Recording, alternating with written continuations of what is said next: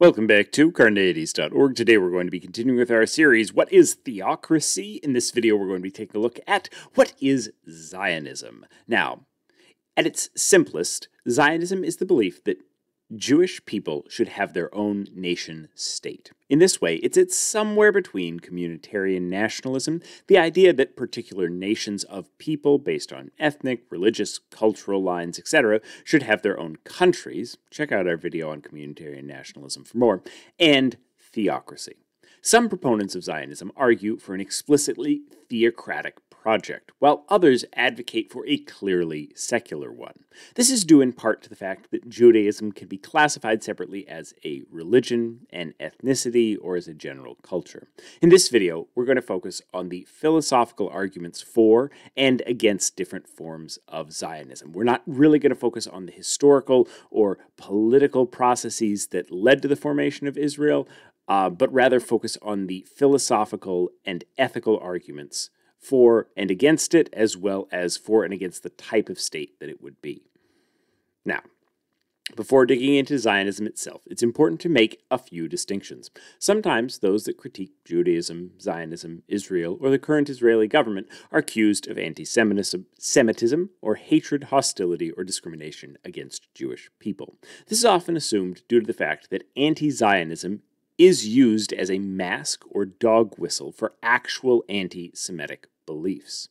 In this video, we will draw a strict and clear distinction between anti Semitism, discrimination against Jewish people, and the more philosophical critiques of the religion of Judaism, such as critiques of the tenets of that religion, criticism of Zionism, i.e., criticism of the claim that Jewish people have a moral right to a nation state, Concerns with the state of Israel as it currently exists, such as objections to the current instantiation of Israel as the correct form of said Jewish state, and disagreements with the government, for example, concerns with Netanyahu's proposal to limit the powers of the judiciary. All of these are different viewpoints, and while some can be used for, as dog whistles for others, in this video we mean what we say, and a critique of Zionism is just that, nothing more. It's important to both acknowledge that opposition to Zionism, Israel, Netanyahu, etc., have been used as a veiled tool for anti Semitism, but also that doesn't mean that these institutions should therefore be above critique, or that all objections to them are inherently racist or anti Semitic, despite attempts from the current government of Israel to dismiss any criticism as inherently racist. It should be clear that someone could be a Zionist, but think that the current state of Israel fails to live up to that goal. For example, Jewish philosopher Martin Buber argued for a binational state in Israel, where there was legal equality for Jewish and Palestinian people. Or someone could be a supporter of the current state of Israel, but disagree with the current government that's in power, as protests that have rocked the country uh, have happened in the last uh, weeks and months. It seems that there are quite a few Israelis that oppose Netanyahu. Conversely, there are American evangelical politicians that support both anti Semitic groups, such as the Proud Boys, but are also active supporters of Israel because they believe that it will fulfill Christian prophecies and bring on the apocalypse, which for some evangelicals is apparently a good thing. All of this to say that criticism of Israel or Zionism can be independent of anti Semitism in both directions. The objections offered in this video are to the philosophical position, not an attempt at veiled anti Semitism.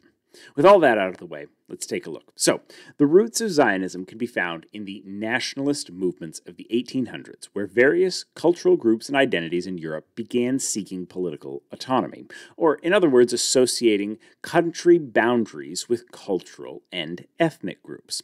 This was justified by an argument that individual ethnic groups had a right to self determination. This communitarian nationalism faced varying levels of challenges for different groups, depending on how dispersed they were across other nations. This was therefore particularly challenging for Jewish people who were well dispersed throughout Europe and the Middle East, but had a clearly distinct culture and religion. An early advocate of Zionism, Moses Hess, argued that the Jewish people had the historic mission of spreading universal human harmony throughout the world, but could only do so uh, if they had a state homeland in Israel. They couldn't do so solely as a diaspora. Other early examples of Zionism defended it through explicit reference to anti Semitism. Leopold Pinsker argued that Jewish people could not be assimilated into other cultures because while they could sometimes start to integrate with other societies, in the long run they wouldn't be tolerated and would eventually be isolated, pushed out, or turned into scapegoats. Pinsker argued that this perpetual separateness could only be resolved if the Jewish people were given a homeland. Ahad Ha'am, on the other hand, focused less on anti Semitism as a moral need for Zionism, but rather on Zionism as a bulwark against assimilation and loss of Jewish culture. For Ha'am, everyone has a sentiment of national belonging to a particular culture or ethnic group, in the same way that one has inherent feelings of uh, connection towards one's own family. Now, Thomas Herzl is also associated with this stage of the movement, though he was more of a politician than a philosopher, less offering particular philosophical arguments for Zionism and more politically working towards its realization. Jacob Klatzkin made an argument for Zionism based in another frame, based on the land and language. For Klatzkin, Zionism could be defended neither through solely secular or personal spiritual ties, because those could lead to assimilation and loss of culture, nor could it be defended through explicitly religious ties, because those excluded much of the experience of being Jewish and much of the Jewish community. For Klatzkin, these were subjective and debated, and therefore couldn't be the central defining feature and important impetus for Zionism. Zionism, for Klatzkin, should be rooted in objective criteria, specifically in land and language, that these ideas were essential to the Jewish experience, the desire to speak one's own language and settle in one's own land. While the secular definition of Jewish identity resonated in some circles, the exclusion of the diaspora who didn't speak Hebrew or moved to Israel when it was founded from that kind of essential Jewish identity led to the eventual marginalization of Klatzkin's arguments and his ideas of framing Zionism solely around land and language. Other early Zionists grounded their views in socialism and Marxism. Ber Borochov framed Zionism in terms of Marxist class struggle. While Jewish people remained excluded from heavy industry in many communities, they would remain marginalized and separate from society. They couldn't form a real proletariat. In some ways, Zionism as a form of communitarian nationalism is at odds with traditional Marxist ideas of globalism, the workers of the world uniting in a post racial society where national divisions are minimized. However, Borochov argued against assimilation, both as unattainable and as distracting from the importance of a true nationalist project for the Jewish people. Now, now that we've looked at the arguments for Zionism as a position, it's important to also look at the arguments about what Zionism should be. This includes the questions of where a Jewish state should be, locations ranging from Argentina to Uganda were considered, and how that state should be structured. Some of these questions are arguably moot, as there is now an existent Jewish state, Israel, in the Middle East. However, other debates over the rights of Arabs in Israel and the level of secularism in Israel are still raging. Some, like Michael Buber, argued for a secular Israel with equal rights for Arab and Jewish people, building on classically liberal commitments to equality and human rights, while others, such as Yeshayahu Leibowitz, argued for an Israel based on halakha, or Jewish law found in Scripture, as this was central to the Jewish identity. All of these points, this points us to a central question Is Israel actually a theocracy? It's in a series on theocracies, so is it? Many of the initial rationale for its existence were presented as secular rationale, but being ethnically or culturally Jewish is deeply tied to being religiously Jewish. As we discussed in our first video in this series, there is a spectrum of theocracies. Israel certainly is not on the most extreme end of that spectrum. Its leaders are democratically elected, they're not members of the clergy, nor are they appointed by the clergy. And Many of Israel's laws, however, focus on prioritizing benefits to ethnically Jewish people, regardless of their religious beliefs, making this seem more like a communitarian nationalist state than a theocracy. That said, matters of marriage, divorce, etc., are administered by religious courts, not secular political institutions. And while Christians and Muslims have their own religious courts, secular Jewish people are subject to the will of Jewish religious courts. And so, in some ways, there are theocratic components to the government of Israel. Israel has also become progressively more theocratic over time, with the Knesset passing a new basic law, equivalent to a constitutional amendment, that recently required the state to preserve the religious heritage of Jewish people, specifically, among other things, that lean it towards theocracy in 2018. Netanyahu's current crusade to weaken the judiciary's oversight is a step towards theocracy as well, as the Supreme Court has often worked to protect the rights of minority religious groups. Finally, let's take a look at some objections to Zionism itself. As noted above, these should not be construed as veiled anti Semitism, but rather honest critiques of the philosophical positions. We'll focus on objections to the concept of Zionism, as objections to the policies of Netanyahu or past Israeli governments would require a much longer video. Now, the first and most prominent objection to Zionism, at least in its current form, comes from Palestinian nationalists, who argue that if Jewish people have a right to the homeland, so should they. If the promise of nationalism is that people should be allowed self determination, why are Jewish people allowed such a right but Palestinians are not? Having been oppressed and ostracized in society doesn't give Jewish people the right to turn around and do the same to Palestinians. If cultural nationalism is truly a legitimate rationale for self determination, it seems that Palestinians should be just as entitled to their own state as well. However, given the current claims of each group to the same areas, continuing destruction of Palestinian homes by Israeli settlers, and intermixing of these cultural groups in different land areas that would be claimed or required by both, two clearly defined states may now be impossible. One way to resolve this dilemma is through another objection to Zionism, to reject the idea of communitarian nationalism altogether. Zionism is founded on the idea of national and cultural self determination. However, in an increasingly interconnected world where you have much more freedom of movement, the idea of an ethnically and culturally homogenous state continues to grow more and more absurd and antiquated. Zionism is underpinned by a rejection of the possibility of multicultural societies inherent in many of the founders' arguments is the idea that Jewish people would never be accepted in other countries. It's a refusal to acknowledge the possibility of societies that are bound together by a shared civic commitment to democracy, human rights, or a national project, instead of a particular cultural or ethnic background. It rejects the idea that, in fact, societies are made better through diversity, not worse.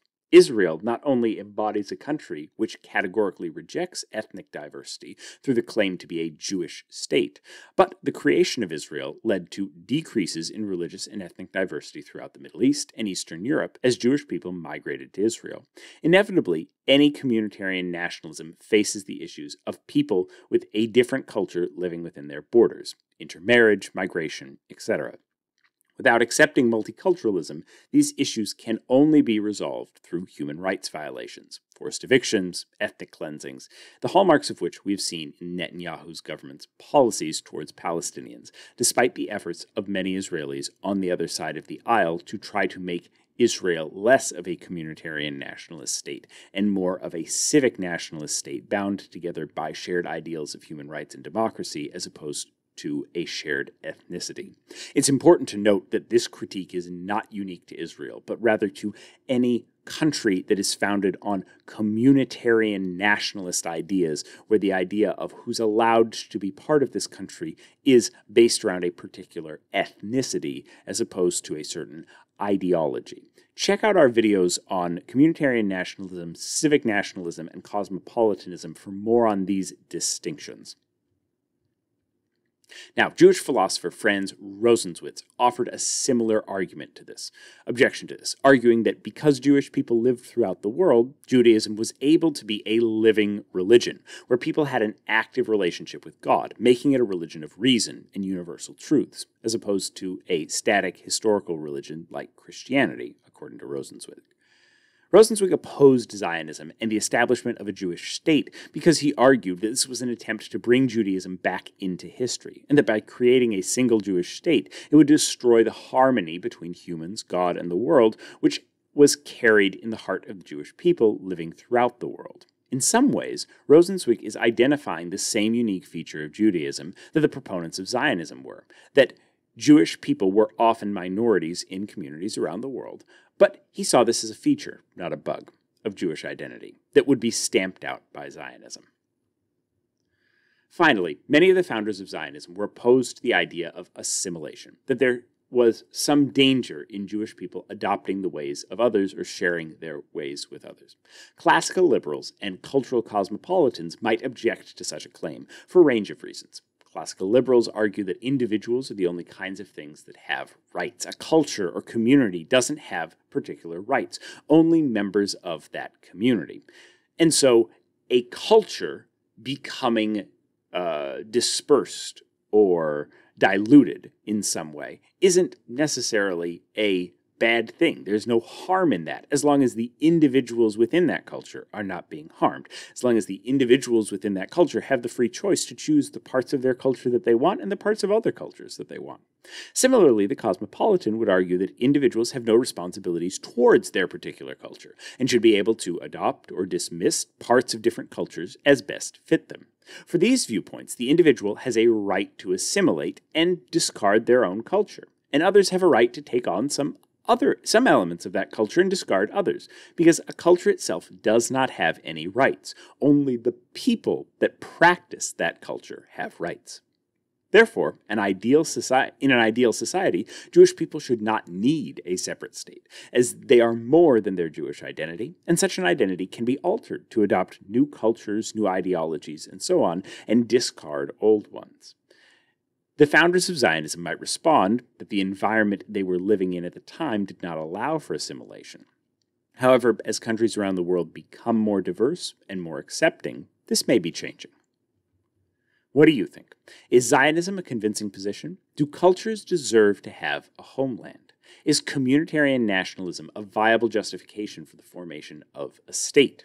Will it necessarily lead to human rights violations in order to make that state ethnically pure? Is Israel a theocracy because family court judges are members of the clergy that make decisions based on religious law?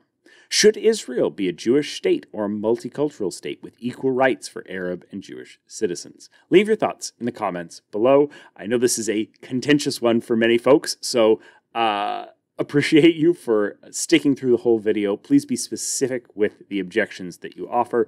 Watch this video and more here at carneades.org. Subscribe if you like this video, hit the like button, uh, donate on Patreon if you want to support the work we're doing, and stay skeptical, everybody.